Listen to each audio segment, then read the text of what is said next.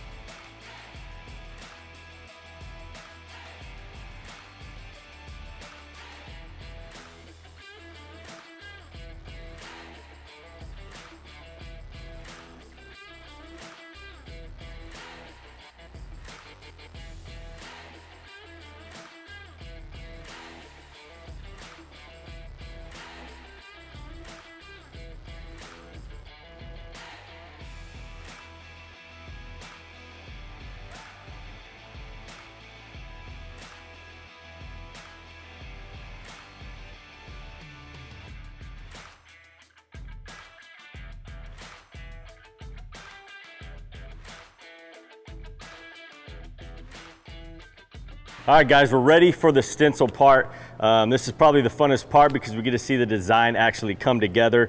Um, I'll just recap how we got to this point.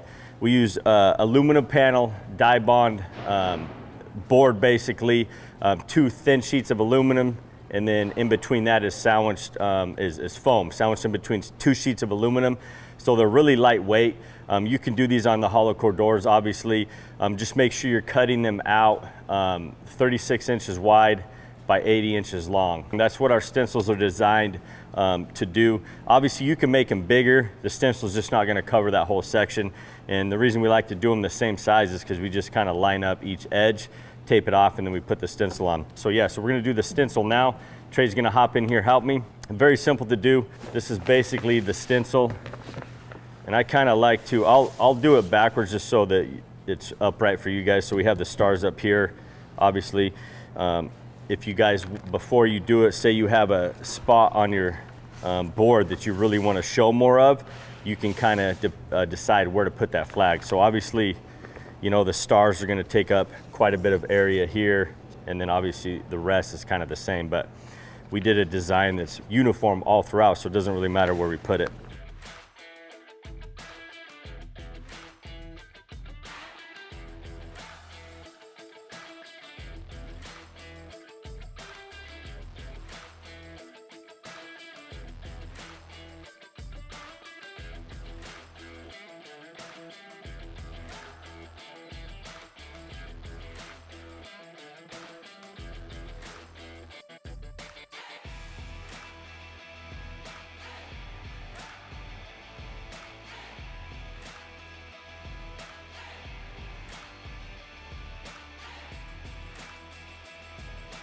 So next thing, we just want to, if you have any creases, make sure the edges where the crease is pushed down.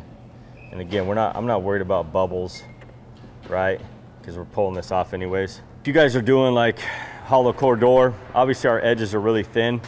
Um, you could just tape off your edges. That way you don't get any spray paint on your edges. You could even border out your edges um, with the thin blue line color. A lot of options with these flags. You can do the stars different colors the stripes different colors. There's just so many options. So I'll just tape off my edges here. Um, that way I don't get any on, even though they're really skinny. I don't want to get any spray paint on them.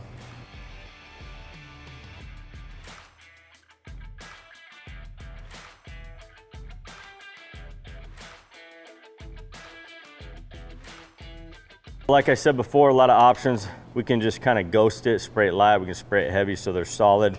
I want to spray it like mediums to where you can kind of see through it a little bit, um, but it's not completely covered. So that's, that's what I'm going for here.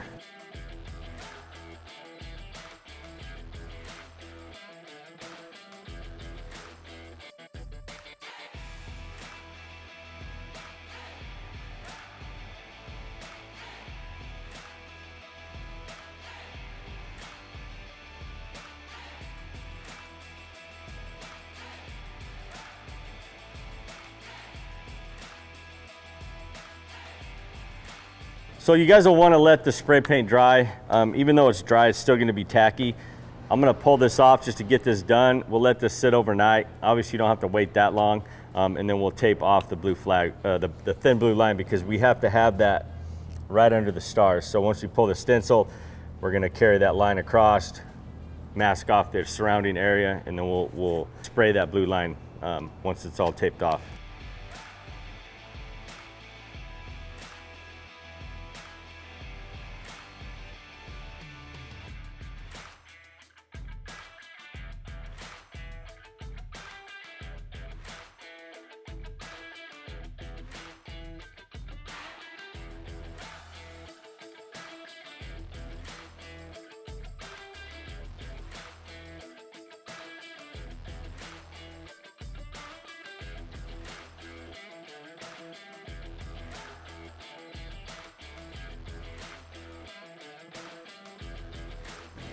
All right, so there's, there's the look of it. Um, and like I was saying earlier, right, we can still see through the design because we didn't completely spray black over it.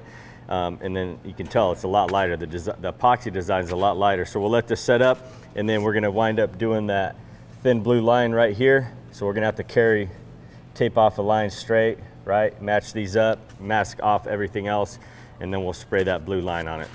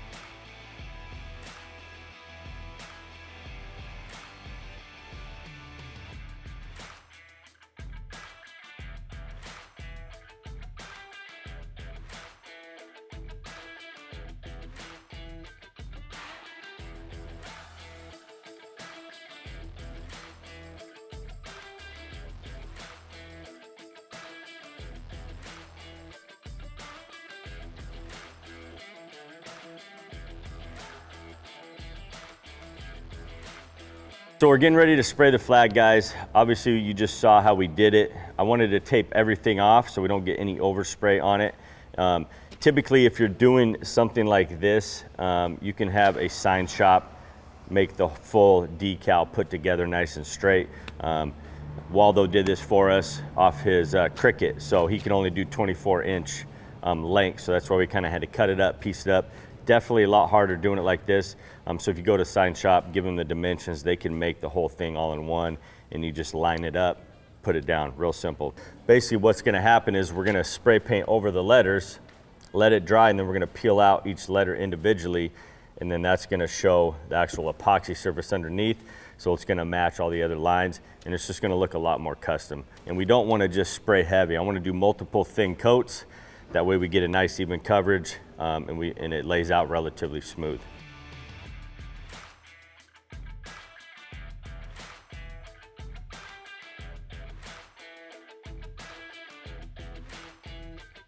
Let that dry, we'll put a fan on it, maybe like three to five minutes and I'll just keep doing multiple coats until we get a completely solid blue color.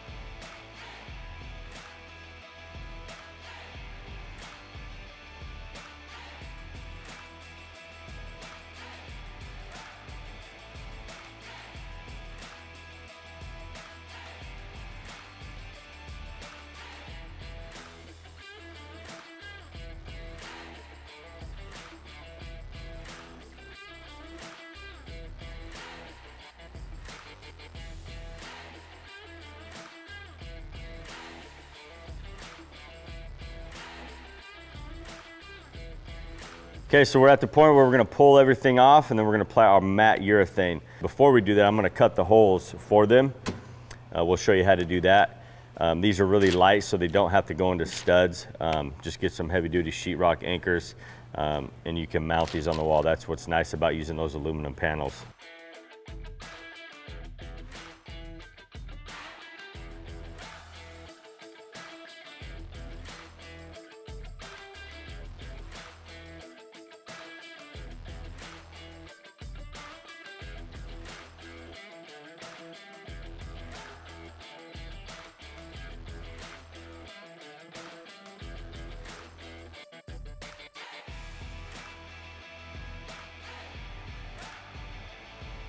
These, these are called standoff screws. So what happens is we drill the hole, this will go on the bottom, you'll bolt that to your wall, and then these will screw in and hold it up. So they look really clean.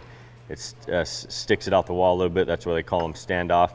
They come in multiple colors. You can get them on Amazon, get them all over the place. Um, so what we did is we went two inches in everywhere. You can go in farther for, if you want. You can also add one in the middle if it's needed. And again, you can get the different colors. So we opted to go with black. And then this is just a hole uh, bit for metal. And we want to make the hole a little bit bigger than the actual screw, okay? So there's some play, like maybe you need to adjust it a little bit to get it level to make it look perfect. Maybe you screwed one of these in a little crooked, just whatever. So you have, uh, these are half inch. Uh, actually, I think these are one inch. So you have that much play, theoretically. So yeah, these are one inch wide. So we can go half inch. Well, I'll probably do just one, one line under half inch and that'll give us a little bit of play. And we'll do that on all of them, like I said, in case you need to adjust it when it's on the wall a little bit to get it perfectly level.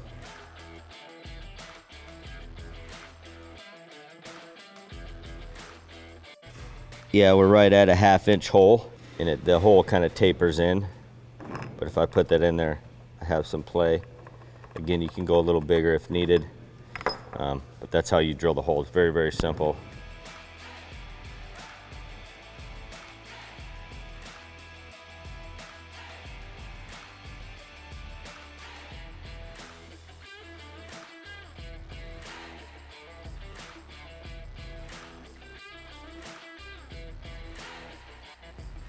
So this comes with screws. Obviously you want to do a, a sheetrock heavy duty sheetrock anchor, and then this will screw into your wall. That'll be on your wall. And then you would put the washer behind it. And then if you're obviously hanging it, we usually just backside, we'll tape it so it'll hold the washer on the backside. And then you got your washer on the front.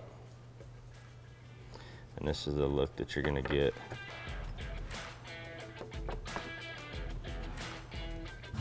So really clean look.